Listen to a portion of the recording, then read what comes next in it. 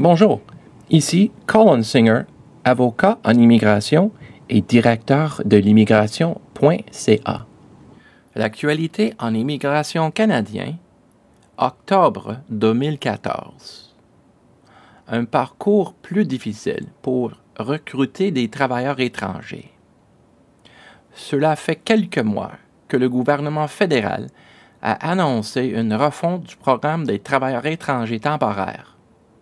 Nous sommes encore dans une période de transition et il y a quelques petits défauts à régler, de sorte que le véritable effet de ces changements est encore à déterminer. Certains des changements les plus importants concernant le passage d'avis relatifs au marché du travail sur la base des classifications professionnelles spécifiques à des évaluations d'impact sur le marché du travail fondées sur les données du marché du travail réel et des exigences plus strictes pour les employeurs devant trouver des travailleurs canadiens premièrement et une différenciation entre haut et bas salaires pour les travailleurs étrangers temporaires. Les modifications sont entrées dans les silages des pratiques de certains employeurs qui abusent du programme.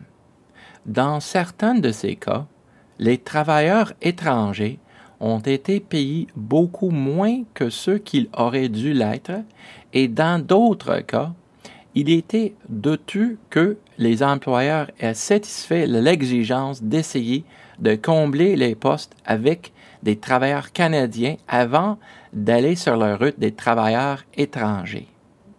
Le gouvernement fédéral a décidé qu'il était temps de rendre des choses un peu plus difficiles pour faire venir des travailleurs étrangers et pour protéger la main-d'œuvre canadienne.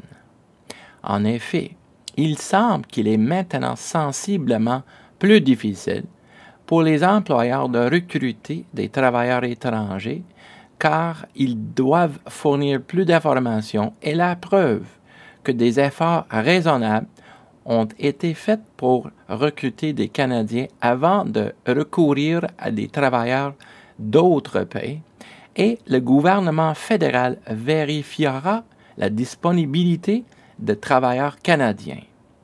En outre, le gouvernement a abordé la controverse des travailleurs étrangers peu qualifiés, surexploités, avec une rémunération inférieure en limitant la proportion des travailleurs étrangers à bas salaire, ceux qui gagnent moins que le salaire médian dans la province ou le territoire où ils travaillent.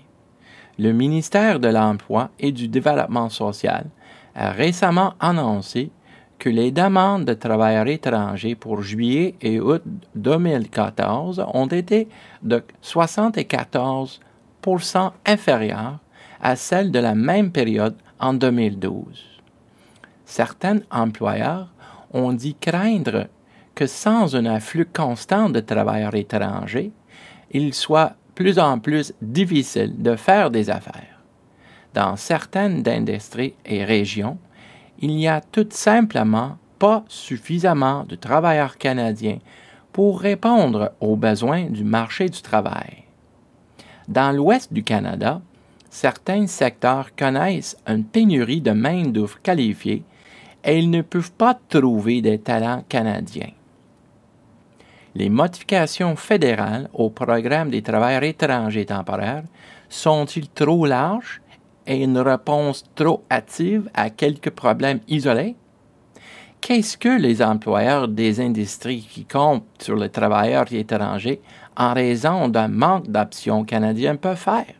Est-ce que le processus plus long et compliqué pour recruter constituera un obstacle à la satisfaction des besoins de leur entreprise?